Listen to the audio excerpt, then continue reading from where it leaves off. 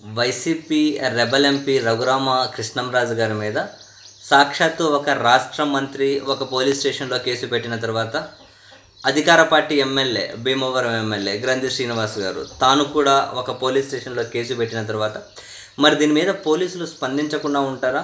రఘురామకృష్ణరాజు గారి మీద చర్యలు తీసుకోకుండా ఉంటారా? అన్న ప్రశ్నలు మనలో చాలామందికి వచ్చాయి.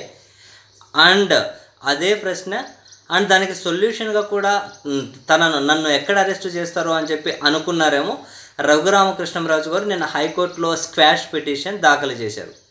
అంటే స్క్వాష్ పిటిషన్ అంటే ఏంటి?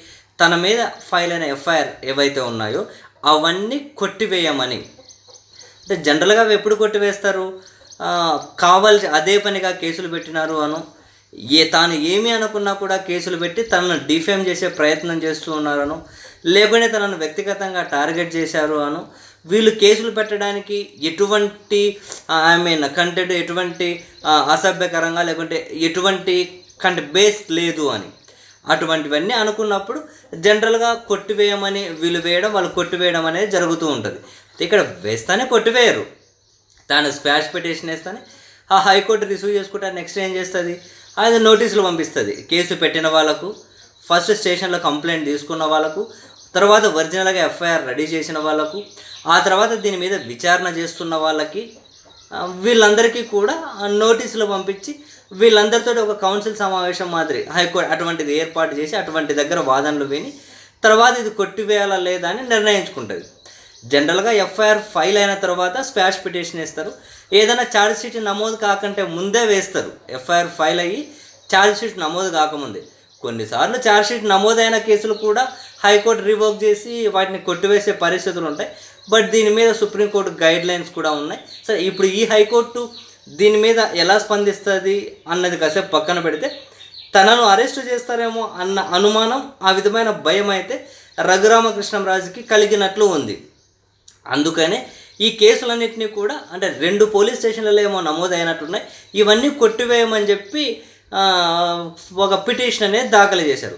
జనరల్గా ఇటువంటి రెండు మూడు ఎక్కువ పోలీస్ స్టేషన్లు ఏదైనా నమోదైనప్పుడు అన్నిటి కనుక ప్లాట్ఫామ్ అంటే అన్నిటి ఉద్దేశం ఒకటే అయితే అంటే ఒకే విషయం మీద ఒకటి కంటే ఎక్కువ ఎఫ్ఐఆర్లు కనుక ఫైల్ అయితే కొన్నిసార్లు కోర్టులు ఏం చేస్తాయి అని అంటే ఈ ఎఫ్ఐఆర్ అన్నింటినీ కనుక మెర్జ్ చేసి ఏదో ఒక స్టేషన్ కింద ఒకే ఛార్జ్ షీట్ కింద మెర్జ్ చేసి మిగిలినవన్నీ కూడా స్క్వాష్ చేసే పరిస్థితి వస్తూ ఉంటుంది.